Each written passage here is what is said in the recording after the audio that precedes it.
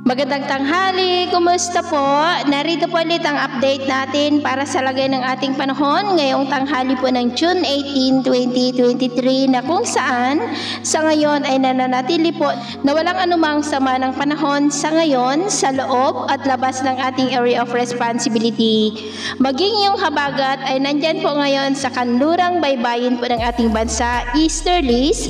Ang umiihip po dito sa ating bansa, ito po ay mainit na hangin na mula po dyan sa may Pacific Ocean na nagdudulot po yan ng pagkakabuo ng mga thunderstorm na siya pong dahilan ng mga pag-uulan lalo na po yan sa dakong hapon at gabi. At may ITZZ pa rin na nakakaapekto dyan po sa may Mindanao. Ito po ay tinagurian na breeding ground ng mga sama ng panahon dahil dyan po nagsisimula ang pagkakabuo ng mga sirkulasyon. At sa at sa atin naman pong long range forecast, sa susunod po na mga araw ay posibleng may sama ng panahon na mabubuo sa susunod na mga araw. At ang development po nito ang patuloy lamang po natin nababantayan. Hindi naman po ito nakitaan ng landfall scenario pero nananatili pa rin na banta ito dito sa ating bansa lalo na po dito sa Luzon.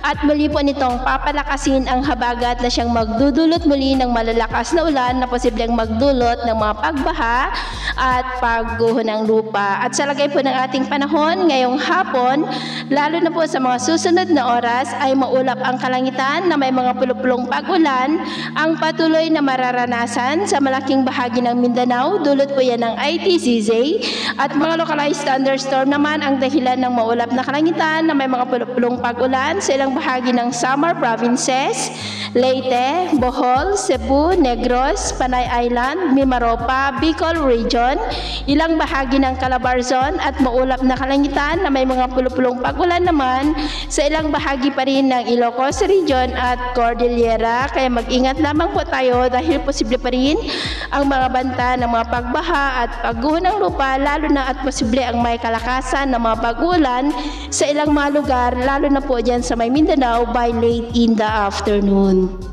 At sa atin naman pong mga baybayin, wala naman po tayong nakataas na gale warning signals sa alinmang baybayin po ng ating bansa, pero iba yung pag-ingat lamang po kung papalaot tayo para makaiwas sa mga sakunang pangkaragatan. So, yun po po ang latest update natin sa araw na ito.